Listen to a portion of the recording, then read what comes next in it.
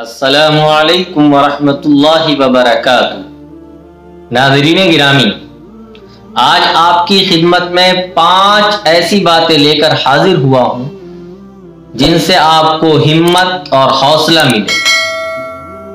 जानना चाहते हो पाँच बातें क्या हैं? चलिए जानते हैं। नंबर एक, इज़्ज़त उसे दी जाती है जो कबूल करने का जर्फ रखता हो। और इज़्ज़त वही कबूल कर सकता है जो इज़्ज़त देने का जर्फ रखता हो। कम जर्फ ना तो इज़्ज़त कर सकता है और ना ही इज़्ज़त करवा सकता है। नंबर दो,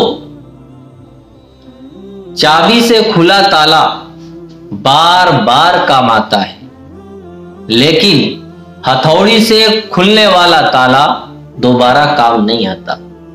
इसीलिए रिश्तों के ताले गुस्से की हथौड़ी से नहीं, मोहब्बत की चाबी से खोलिए। फिर देखिए रिश्ते में क्या मज़ा आता है।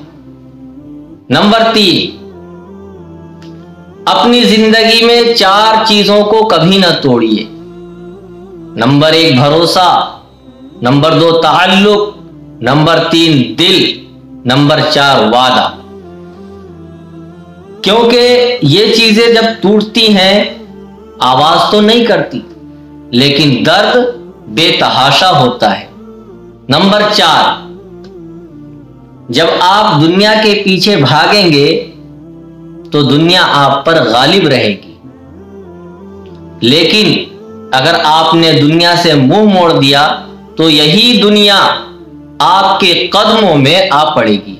नंबर पाँच अच्छे इंसान की सबसे पहली और आखिरी निशानी यह भी है कि यह उन लोगों की भी इज़्ज़त करता है जिनसे इसे किसी किस्म के फ़ायदे या मफाद की तो नहीं होती।